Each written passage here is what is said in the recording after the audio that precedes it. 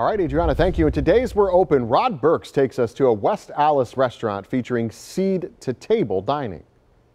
Wild Roots at 6807 West Beecher Street in West Allis just celebrated their two year anniversary. They're a farm to table restaurant that's getting pretty popular because of their delicious food and great ambiance. Everything about this restaurant is very personal to me. Uh, we try to take everything that's here that has some kind of significance, some kind of history.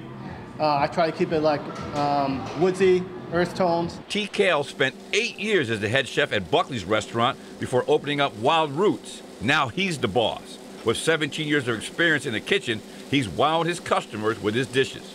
We sear up this burger that we ground in-house, and then we submerge it in duck fat. Having submerged in the duck fat? One, it's delicious. Two, cheese.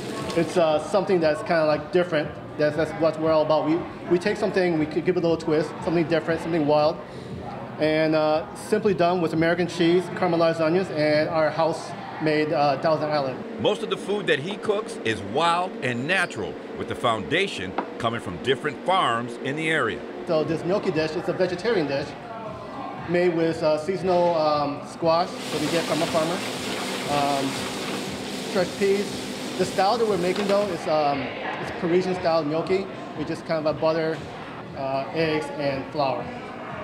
But we pipe it into a salted boiling water, saute it up, brown butter, sage, uh, walnuts, raisin. It's delicious. It's like the We're Open crew making a special stop here in West Allis at Wild Roots. They have a dynamite menu, and the recommendations here are the duck fat burger and the gnocchi.